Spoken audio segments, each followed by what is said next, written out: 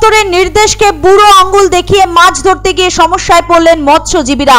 ঘটনাটি ঘটেছে দক্ষিণ চব্বিশ পরগনা জেলার সুন্দরবনের পাথর প্রতিমা এলাকায়। বেআইনি জায়গা থেকে মাছ ধরার কারণে আটক করা হয়েছে চোদ্দটি নৌকো।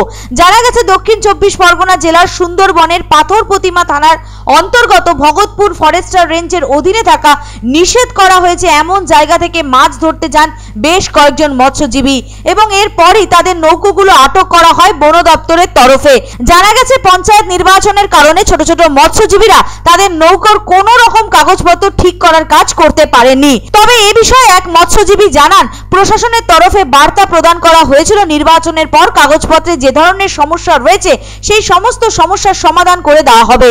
কিন্তু যতক্ষণ না পর্যন্ত সেই সমস্ত ডকুমেন্টস ঠিক করা না হচ্ছে, ততক্ষণ পর্যন্ত ভগতপুর ফরেস্টার রেঞ্জের অধীনে থাকা ওই এলাকায় মাছ ধরার ক্ষেত্রে নিষেধাজ্ঞা জারি করা হয় বন দপ্তরের তরফে। তা সত্ত্বেও এদিন দেখা গেল বেশ কিছু ক্ষুদ্র মৎস্যজীবীরা মাছ ধরতে জাল, নৌকো নিয়ে চলে আসেন ওই এলাকায়। তবে এ প্রসঙ্গে অবশ্য মৎস্যজীবীরা আরও জানান, পেটের তাগিদে বাধ্য হয়ে মাছ ধরতে এসেছিলেন তারা।